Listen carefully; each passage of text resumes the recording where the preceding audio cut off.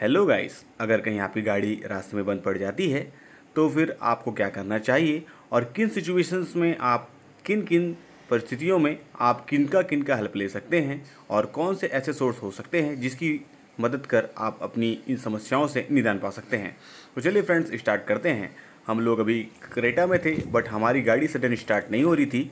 ये हम लोगों ने रात में ये हमारी गाड़ी फंसी हुई थी फिर हम लोगों ने इसको यहीं पे छोड़ दिया था। काफ़ी हम लोगों ने स्टार्ट करने की कोशिश की पर ये हमारी गाड़ी स्टार्ट नहीं हो पाई। तो हम लोगों ने सुबह आया और एक बार फिर से इसको स्टार्ट करने की कोशिश की बट ये इसका इंजन बिल्कुल भी रिस्पॉन्स नहीं किया। जैसा कि आप देख पा रहे हैं गाइस जैसा कि आप देख पा रहे हैं हम लोग अभी क्रेटा के डीजल वर्जन पे हैं एस मॉडल पे। तो हम लोगों ने सोचा कि गाइस हो सकता है इसका जो इंजन है, वो एयर ले लिया हो, जिसकी वजह से ये स्टार्ट नहीं हो पा रही है। सो हम लोगों ने वो भी ट्राई किया। हम लोगों ने और भी सर्च किया कि कहीं से कोई वायर्स का कनेक्शंस लूज तो नहीं, वो भी हम लोगों ने चेक किया। पर हमारी इस क्रेटा पे इस तरह की प्रॉब्लम बिल्कुल नहीं थी। ऐसा गाइस हम लोगों के सामने पहली बार हो रहा है। इस तरह की सिचुएशंस में हम लोग पहली बार फंसे हुए हैं। आ, हम लोगों ने कभी ऐसा सिचुएशन फेस नहीं किया सो हम लोगों ने काफ़ी हाँ। ट्राई किया आ, कि हमारी ये जो क्रेटा है स्टार्ट हो जाए और हमको कोई प्रॉब्लम ना हो। बट काफ़ी ट्राई करने के बाद भी सिचुएशंस वही हुए कि आखिर तक हमारी जो क्रेटा है वो स्टार्ट हुई नहीं। गाइस मुझे एक चीज़ समझ में नहीं आता कि आखिर ये कंपनी वालों लोगों ने ऐसे टिपिकल पोजीशंस पर ये एयर पंप कैसे देते हैं? इन लोग को डिज़ाइन करने से पहले सोचना चाहिए। ताकि एयर पंप कुछ ऐसे प्लेस पे फिक्स करे जाए जहाँ से इजली ऑपरेटेबल हो। आफ्टर पंपिंग हम लोगों ने गाड़ी स्टार्ट करने की कोशिश की बट उसके बाद भी गाड़ी एक्चुअली में स्टार्ट नहीं हुई। सो so गाइस हम लोगों ने यहाँ पर आई बोल्ट फिक्सअप करके रखा हुआ है। टोइंग व्हीकल पर आई बोल्ट लगाना बहुत आसान होता है। जिस तरीके से आप किसी भी बोल्ट को टाइट करते हैं same as it is clockwise directions पर रोटेट करके आप आई बोल्ट फिक्स कर सकते हैं। आपका आई बोल्ट आपके स्टेपनी के साथ में दिया गया होता है। जहाँ पर आपका स्टेपनी होता है, आप वहाँ पर आई बोल्ट फाइंड आउट कर सकते हैं। हमारी गाड़ी चालू नहीं हो रही है तो हम लोगों ने यहाँ पे गाड़ी को टोकन करने के लिए टोचन करने के लिए गाड़ी बुला लिया है। तो चलिए फ्रेंड्स देखते हैं कैसे टोचन करते हैं।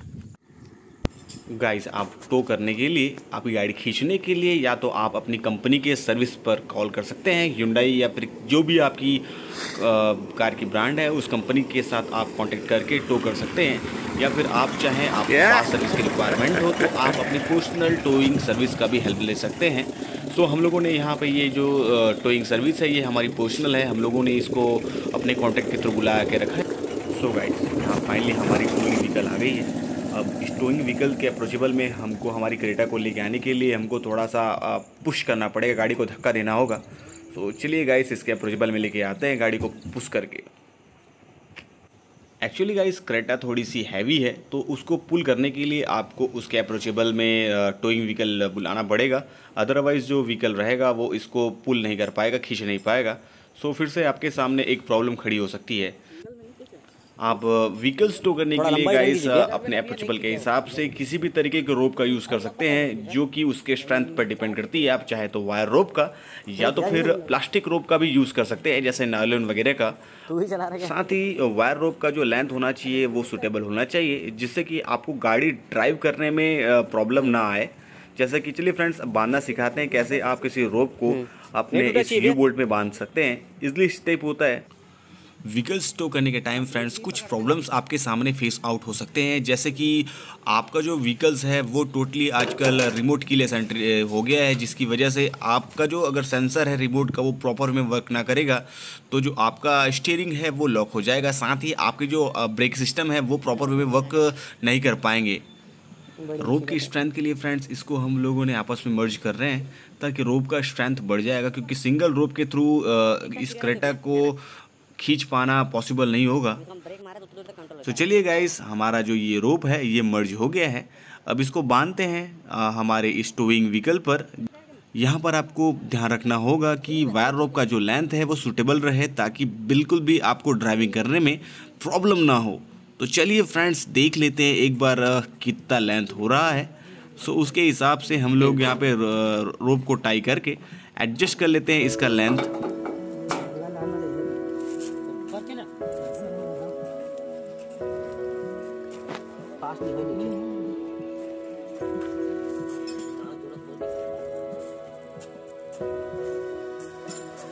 सो गाइस यहाँ पे हम लोगों ने इंसर्ट पिन की हेल्प ली है और साथ ही इंसर्ट पिन को हम लोगों ने लॉक कर दिया है ताकि ये बीच में निकले ना।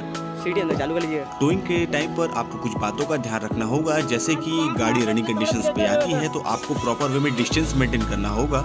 अदरवाइज़ आप एक दूसरे को स्ट्राइक कर देंगे दैट मीन्स ठोक देंगे। और सेकंड पॉइंट है जैसे कि टर्निंग पर आपको डिस्टेंस मेंटेन करना होगा, साथ ही आपको पर्टिकुलर रेडियस के हिसाब से मोड़ना होगा गाड़ी को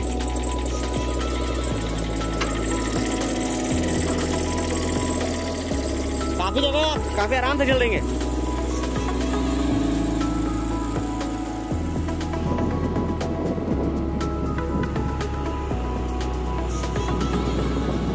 क्या धीरे धीरे चलने दीजिए ऐसे ही।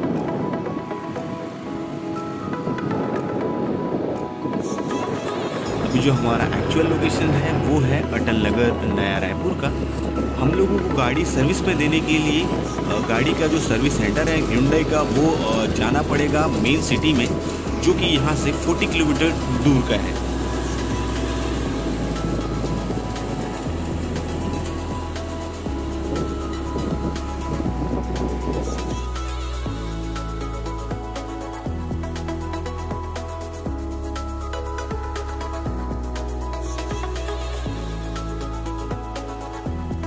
गाइस ये व्यूज़ एक्चुअली में नया रायपुर अटल नगर का है, जो कि काफ़ी सुंदर और काफ़ी ग्रीनरी से भरा हुआ है।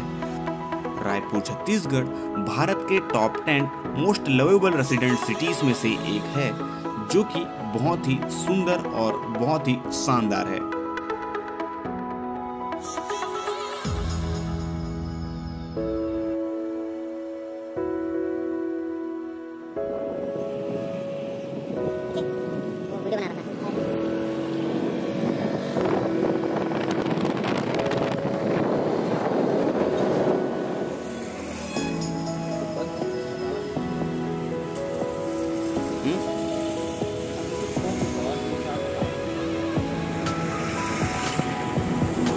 फाइनली गाइस हम हमारी इस क्रेटा को Hyundai के सर्विस सेंटर पर ले आए हैं, जहाँ पर इसको सर्विस में देने के बाद में फाइनली इसका प्रॉब्लम पता चलेगा कि एक्चुअल में हमारी जो क्रेटा है, वो स्टार्ट क्यों नहीं हो पा रही थी। सो गाइस इस तरीके से आप चाहें तो अपना व्हीकल टो कर सकते हैं। सो so गाइस इसी तरह अगर आप भी प्रॉब्लम में फंस जाएँ तो अपनी गाड़ी को टो कर सकते हैं। सो so, कैसा लगा हमारे यह वीडियो? कृपया लाइक शेयर और सब्सक्राइब ज़रूर करें। Thank you for watching our video